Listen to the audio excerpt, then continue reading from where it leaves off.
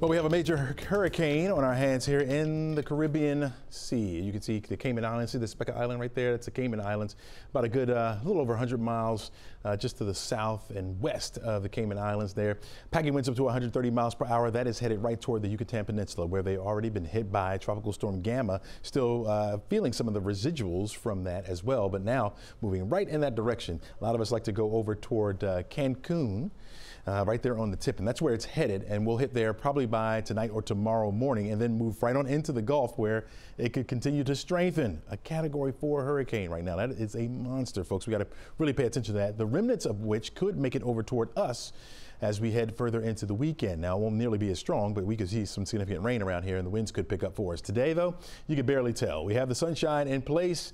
Uh, we'll hold on to it for much of the afternoon. You see a few clouds coming in from the south in our southernmost counties. We're looking at uh, temperatures in the 70s so far. We're at 72 degrees right now, 69 degrees in Gainesville, 66 up towards uh, Blairsville, 70 right now in Dalton at the current hour. We'll hit 78 for an afternoon high. It will be mild today. Tomorrow, look for temperatures to get up to the 80s and we'll time out the hour by hour forecast on when we can see some of the remnants from Delta around here coming up in the full forecast. Christy? All right, Chesley.